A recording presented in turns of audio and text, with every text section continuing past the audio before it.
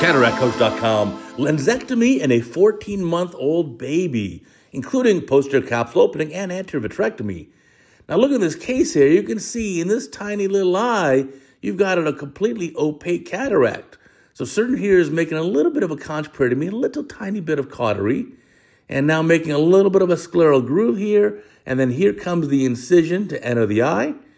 And this will be probably used to place the IOL. Here comes a paracentesis made of the left side, and now one more here on the right side. And now let's see some trypan blue dye, obviously very important, not only for staining the capsule, but for making it a little less elastic. And let's see what we're going to do for the capsular opening here. Now, Ken initially described the two incision push-pull technique here. Our surgeon here is trying to do a bit of a rhexis here. Again, it's very challenging because it's in a very elastic capsule. So as you tear a small opening, it enlarges into a bigger one. You can see how elastic that capsule is, especially compared to an adult or even a geriatric cataract patient. So getting this ground, getting it complete, and there we go, almost, there it is. Now you've got a good capsule opening. Here comes the infusion. So basically you're gonna do a bimanual removal. There's an AC maintainer. Here comes the the right hand looks like, is that a vitrector even? And you can just aspirate. This is not a dense lens. There's no nuclear density at all. You can absolutely just use vacuum to aspirate and clean out all that lens material. Not sure why this baby has this cataract now. Why, why did the baby uh, develop this cataract later? Probably was not present at birth because the patient would then have very dense bad amblyopia. This patient is 14 months old. It's a little more than a year old. And cleaning up the capsular bag here, all looks pretty good. Now get all that cortex out. And again, in these babies, you're going to get very dense posterior capsule opacification. And in fact, these babies are very common to do a posterior capsular opening as well as an anterior vitrectomy just to help decrease that risk. Something about these young eyes where you get just proliferation of any residual lens epithelial cells. So again, cleaning up the bag very nicely here. Now the question is, at 14 months, do you put an IOL in the eye? And I think it's reasonable to do so. We can certainly hear from our pediatric ophthalmology experts who do this all the time and they can give input.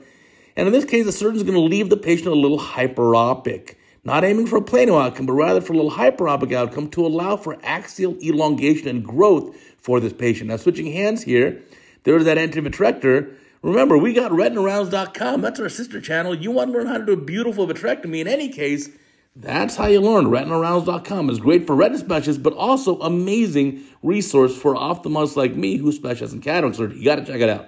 Promise me that. Now, in cleaning up the capsular bag here, now if you're using this anterior vitrector to clean up the bag, remember you can use it on IA mode just to make sure you don't engage the cutter and you don't damage the capsule, which you'll need. Now, here we go, delivering the lens. Okay, lens going in. And I like the idea of this scleral type tunnel to deliver the lens inside the eye. I think that's a smart move because when you deliver the lens eh, through that kind of tunnel, you're really going to have a nice sealing of especially if you suture it up, which obviously I recommend doing here. Remember, in these baby eyes, the tissue is different than an adult eye and certainly different than a geriatric eye. In these patients, you really want to be very careful and make sure the incisions are absolutely sealed at the end of the case. And because the cornea is more elastic, again, I like the idea of that scleral type tunnel. I think it's going to give better long-term stability here.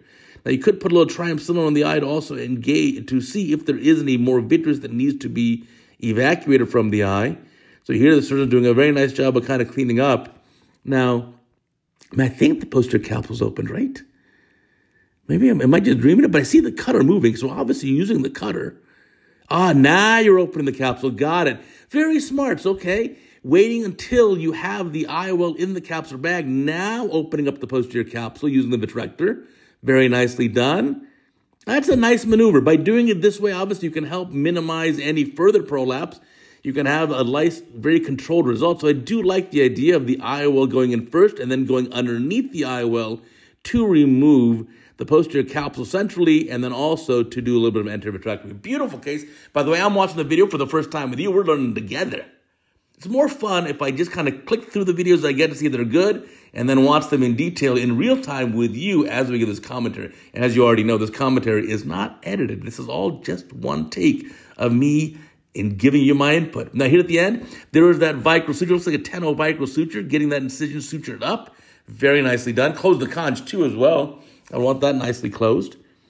And then again, this page can have a nice outcome. Look at that, even 10 micron on the paras. Yes, these baby eyes, it's too elastic. You, you want to have something in there for a temporary closure there. And this 10 micro is nice because it can dissolve on its own. You don't have to chase the baby down to remove them. End of the case, that's a beautiful result. Remember, the battle just begun. You've got to make sure that it's not going to develop any amblyopia. Hey, check out retinarounds.com and, of course, our favorite, cataractcoach.com.